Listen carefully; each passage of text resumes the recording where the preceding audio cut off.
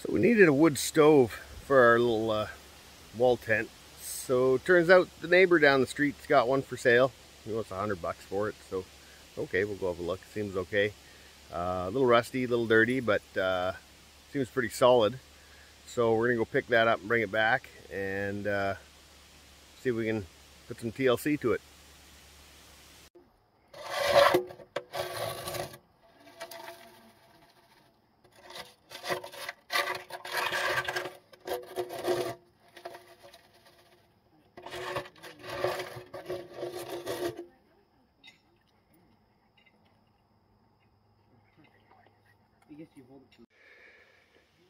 So the wife's got the stove cleaned up nice here, and we've added a coat of, a uh, couple of coats of fireproof paint. So it's starting to rain a little bit, so we're just going to bring it inside and uh, continue working on it from there.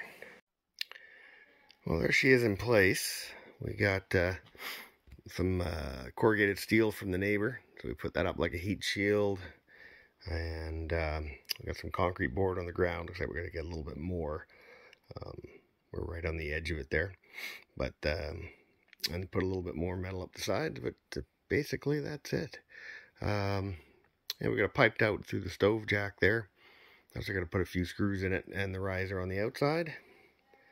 And then we can start putting the brick in and put the doors on. We've got some new gasket for the doors, so we'll do that. And uh, hopefully tonight we can have a little bit of a fire in here. Why does he have all these little shorties? Little shorties. That's why they maybe it's a bit of a jigsaw puzzle. They go along the front maybe or something? Yeah. Can I use these? Yeah.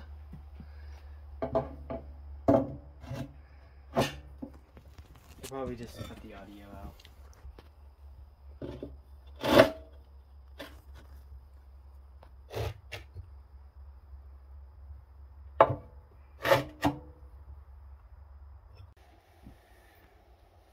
There we go.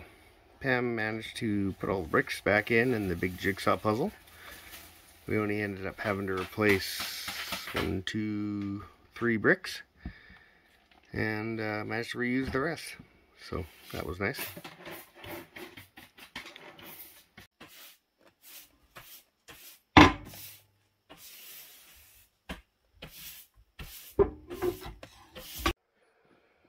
Well, there she is all done. Nice little picture on the front of a couple guys cutting down a tree. I tried looking this name up on the internet, but pretty much came up empty. If anyone knows what that is or what it means, let me know. And there's our vent out the wall. So we're going to start a little fire in it and see what happens.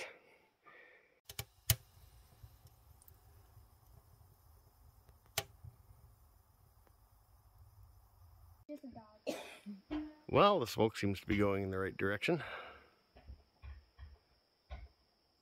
That's a good sign. The kids were out hiking the other day and they found this tree, so they brought us to show us. It's pretty impressive.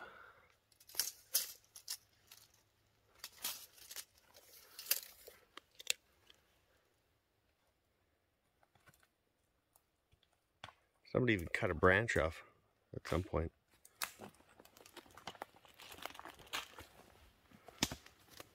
Long time ago. I think that's the branch. Austin's gonna measure it. Okay, let's see how wide it is. So, up there. How wide is that? About uh, four foot eight. so five feet across. Who knows how tall it is? Oh, that's cool. A good hundred feet or so. What is this? This is a fir, right? Yeah. Big tree with a little mouse hole at the bottom. It's like a mouse condominium.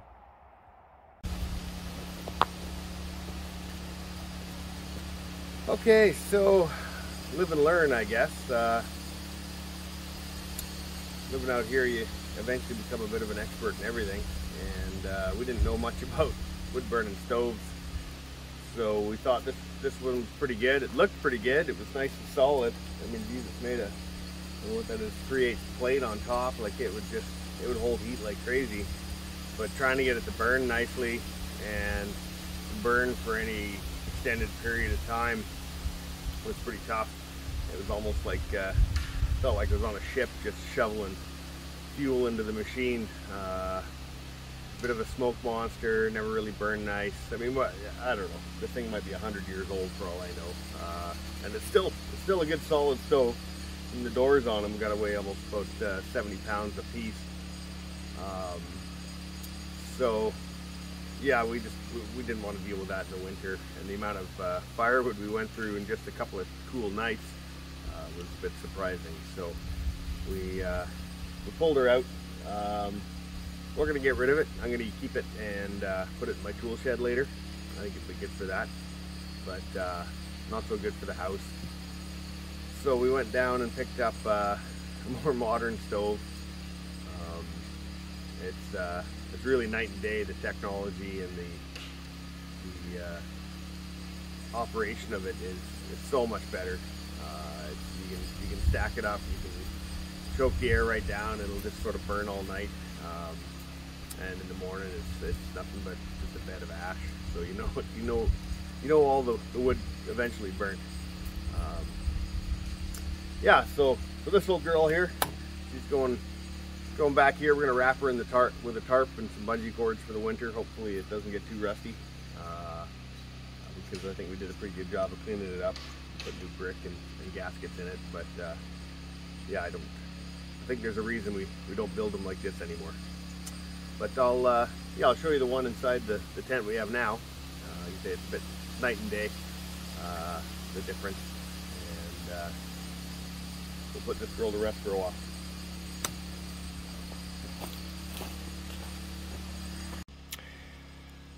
Well, there she is all wrapped up. Hopefully she's happy in her new home for a little bit amongst the wood piles in her natural habitat, I suppose.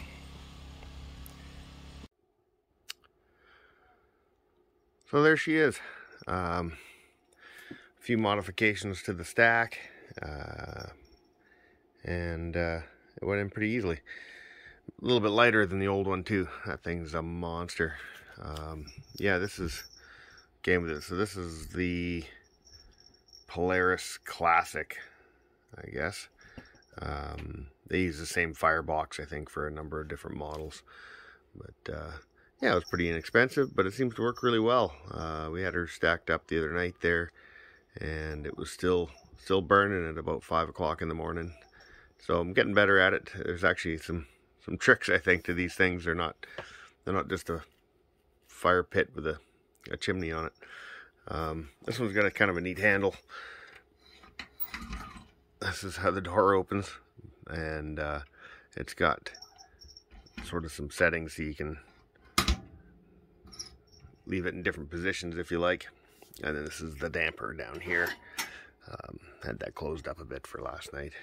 But uh, yeah, much more efficient than the old one. So hopefully that keeps us warm.